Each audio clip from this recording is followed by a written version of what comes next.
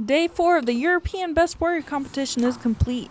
Competitors started their day early with night and daytime navigation, followed by knowledge boards where the competitors continue to be tested mentally. Follow the European Best Warrior competition on U.S. Army Europe, Facebook, and Twitter. For U.S. Army Europe, I'm Specialist Kelsey Van Fleet.